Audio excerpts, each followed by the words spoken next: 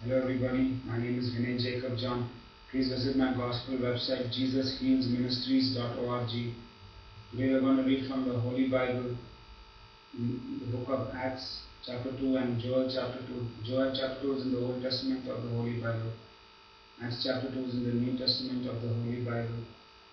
We're going to read about how God sent down the Holy Spirit from heaven to Israel, Jerusalem, where Peter and the disciples apostles and disciples were gathered together in the upper room.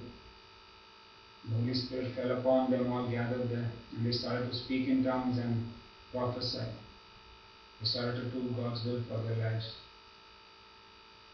Praying in tongues plus interpretation equals prophecy. We can also do God's will for our lives when we call upon the name of Jesus. All you have to do is keep saying, Jesus, Jesus, Jesus, continually. Jesus will speak to you in your inner man and will guide you in everyday life choices and decisions. I'm going to read now from Joel chapter 2, verse 28.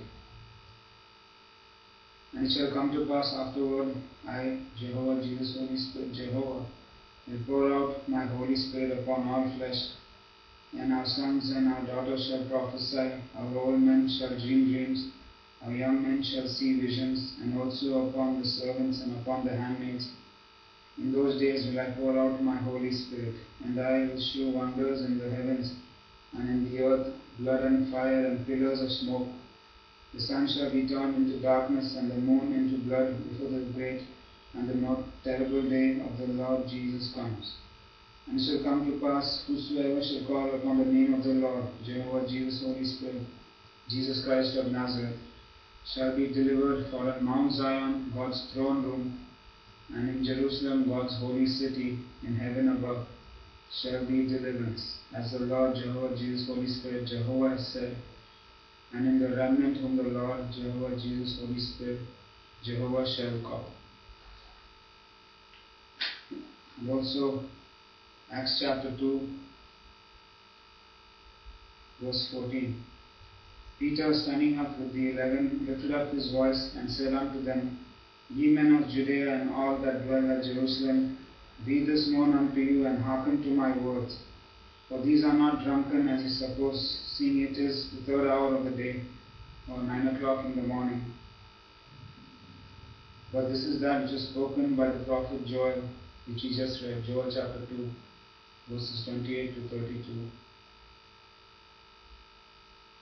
This is that which is spoken by the prophet Joel, and it shall come to pass in the last days, saith God, Jehovah, Jesus, Holy Spirit, Jehovah, I will pour out of my Holy Spirit upon all flesh, and our sons and our daughters shall prophesy.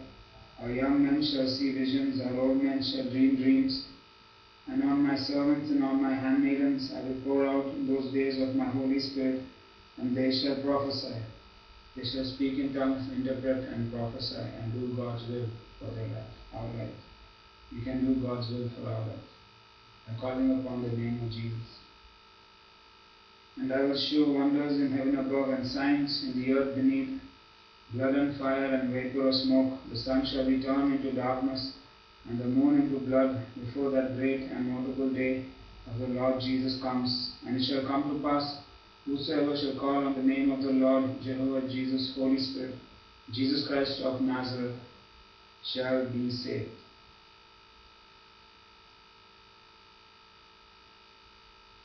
Thank you for listening to me today. Jesus loves us all. Jesus heals us all. Jesus provides for us all. Always. In the name of Jesus Christ of Nazareth. Amen.